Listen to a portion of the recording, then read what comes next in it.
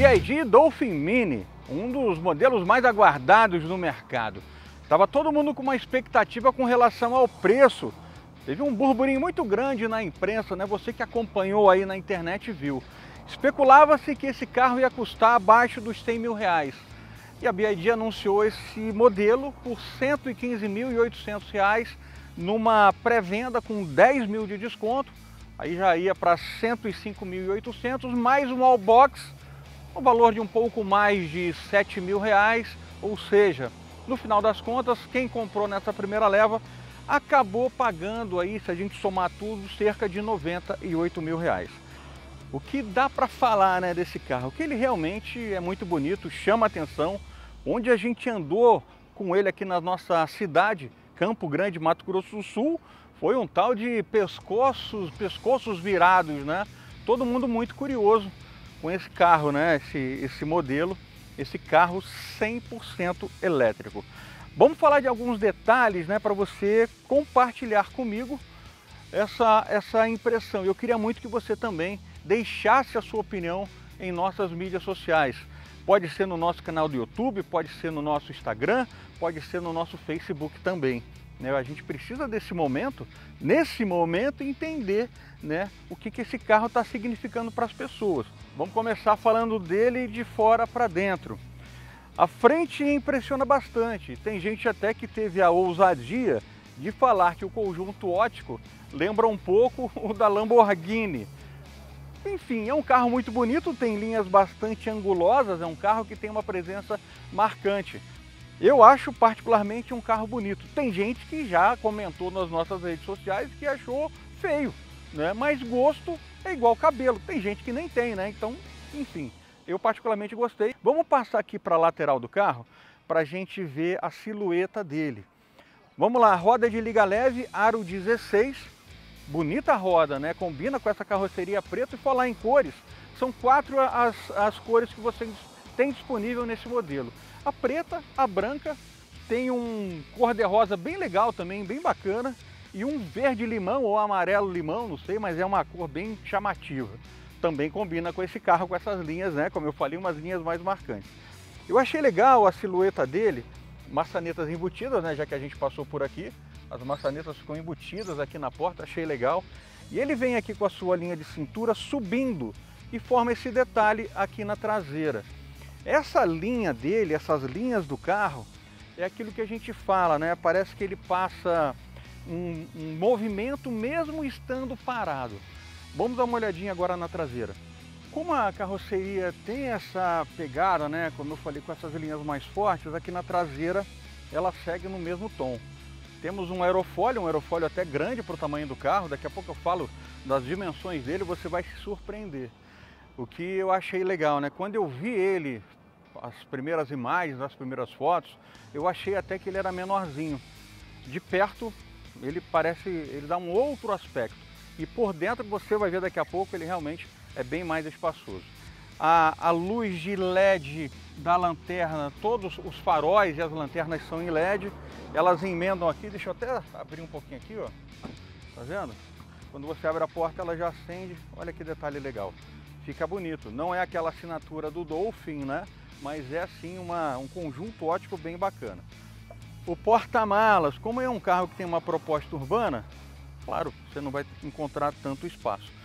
230 litros, mas esses bancos podem rebater, aí o espaço realmente fica bem legal para você carregar até uma carga um pouco maior. Como a gente está falando de um veículo que tem uma proposta urbana, cumpre bem a finalidade, né? Daquela comprinha um pouco menor, né? Quando você vai no mercado não dá talvez para você fazer a compra do mês, mas para você fazer aquela comprinha vai bem legal. Como eu disse para vocês, quando a gente vê na fotografia e vê de perto, a impressão que você tem olhando ele aqui é que ele é um pouquinho maior.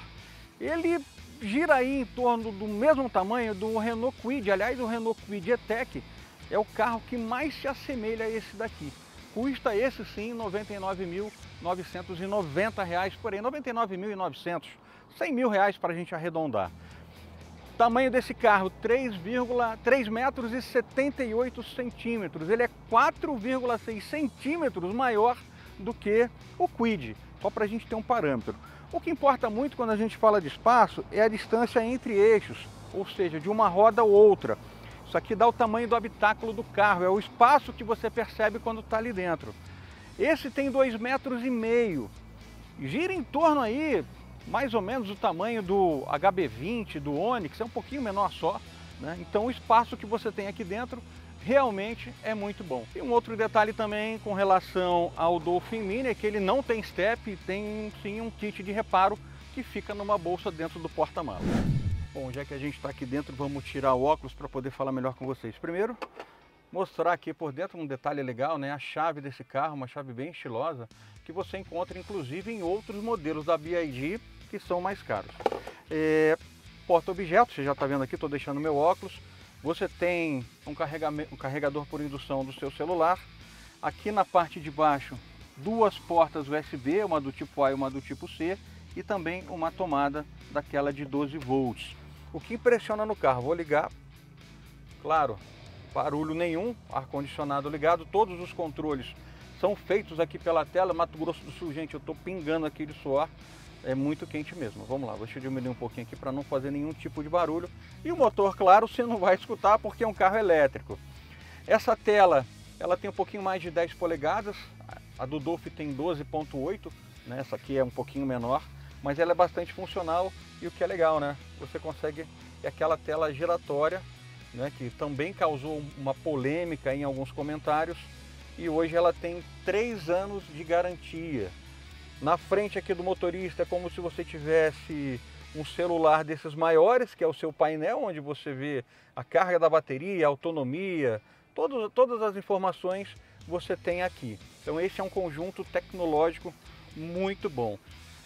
E olha que legal o câmbio dele, gente. É só esse, esse botão aqui no painel, nesse belo conjunto aqui, bem interessante. Você seleciona a ré, né? Vamos colocar a ré aqui, ó, já entra em ação também a câmara de ré. Então, engatei a marcha ré, você tem o neutro e o drive. E apertando aqui do lado, ele vai para a posição P, e aí é o carro, aquele posição de estacionamento. Bem interessante isso, né? Aqui é o volume do som, né? Olha aí, ó. Legal demais. É uma tecnologia bacana, né? Proporcionada né? por um carro que realmente está aí na vanguarda quando a gente fala né, desse, desse conjunto que a gente tem. O acabamento também é bem diferenciado. Você tem aqui na parte de cima um plástico, mas é um plástico com uma textura legal.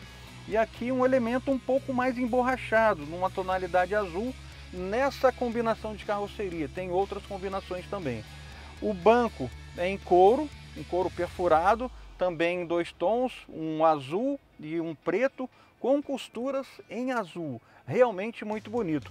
Volante multifuncional, né? Você está vendo aqui, tem toda. Se você ainda tem a regulagem né, de distância do volante, não regula em altura, tá, gente? Só em distância. Mas você encontra um, uma posição bacana.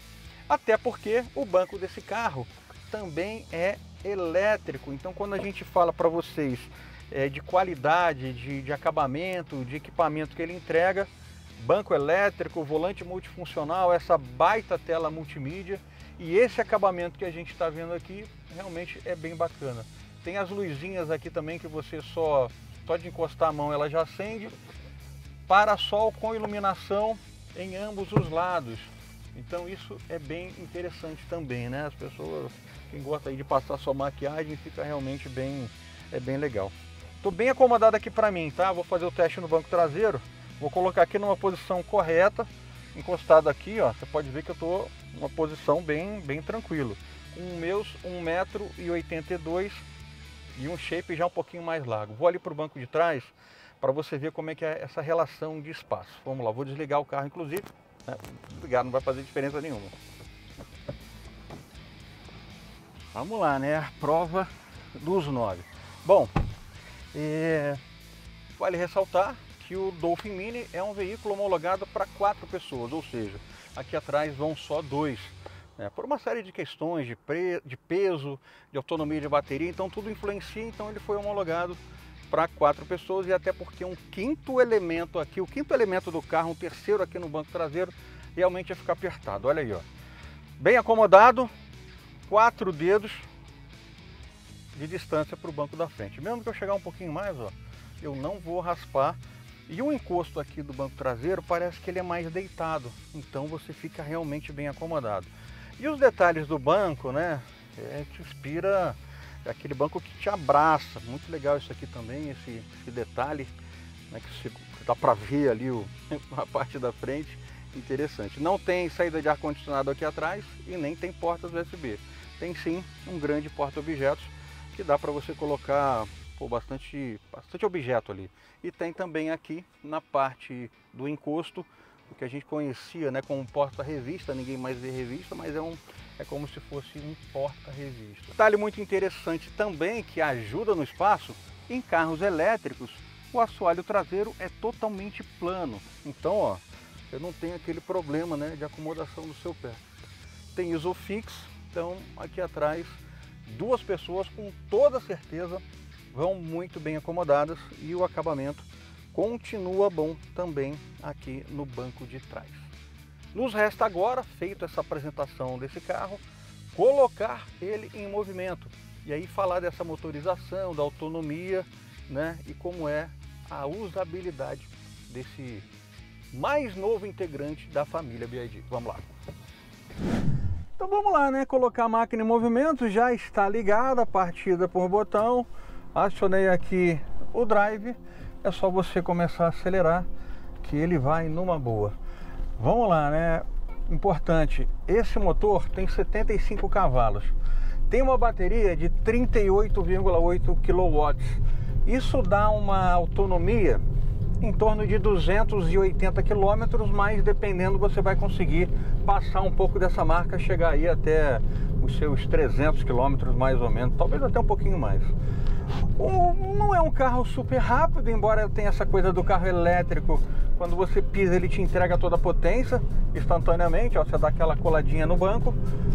A proposta dele não é ser nenhum torpedo, como por exemplo nós temos o CEO da própria BID, que esse sim é uma super máquina. Uma a gente vai fazer uma matéria bem legal com ele. A proposta dele é ser aquele carro urbano que vai te entregar muita economia. E é importante quando a gente fala isso, né? Quando, como eu falei para vocês, a usabilidade desse carro. É, fazendo uma conta, para você rodar esses 300 quilômetros, você vai gastar mais ou menos, mais ou menos, vamos colocar aí 30 reais, tá? Para rodar, isso abastecendo com a sua energia elétrica numa casa normal. Se você tiver painel solar, a conta fica muito mais favorável. É, se você for rodar um carro aí na cidade que passa seus 10 km com litro, que é uma marca bem considerável, você vai gastar em torno de 150, 170 reais. Daí você ver a economia, né? 300 quilômetros com 30 reais, nesse pacote elétrico, na gasolina você vai gastar aí 160, 170 reais, o que torna muito vantajoso esse tipo de veículo. É claro que a gente está falando de carro elétrico, a gente tem que fazer algumas ponderações. O carro elétrico, na minha cabeça, é como se fosse o seu segundo carro. Né? Se você é uma pessoa que gosta de viajar, gosta né, de colocar a família a bordo do carro para fazer uma visita, fazer uma, né, um passeio aqui por Mato Grosso do Sul, o carro elétrico vai te faltar. Ele não vai ter essa autonomia toda por enquanto. Tá? Mas para aquele segundo carro da família, aquele que você faz o corre, né, durante a semana inteira e praticamente do, durante todo o ano, aí, meu amigo, você vai com muita felicidade, porque o carro vai te proporcionar muita economia. Ao volante, o Dolphin Mini é muito, muito legal. O volante revestido de couro, uma empunhadura boa. Né? muito bem acomodado, como você já viu o espaço. Então estou realmente muito bem acomodado. Então, é, o que, que eu falo para você? Precisa abrir a cabeça, precisa experimentar, precisa ver o que ele entrega por esse valor. Se a gente colocar esses 115.800 preços, preço fechado, tá? Sem desconto, sem nada. Se a gente colocar os concorrentes com motores a combustão, os convencionais, o que, que você compra por esse preço? Né? Então vale a pena você é, fazer o test drive, entender o funcionamento, como é que é o lance de recarregar, quanto tempo gasta, como é que funciona isso. E como eu disse, a gente vai estar falando bastante disso aqui no Auto News, tá? Mas abra sua cabeça, abra sua mente, experimente e entenda tudo que ele te entrega e aí você conta pra gente tá bom? Como eu já disse, você pode acessar todas as nossas mídias sociais, deixar o seu recado e a gente vai compartilhando esse lance novo do carro elétrico, beleza?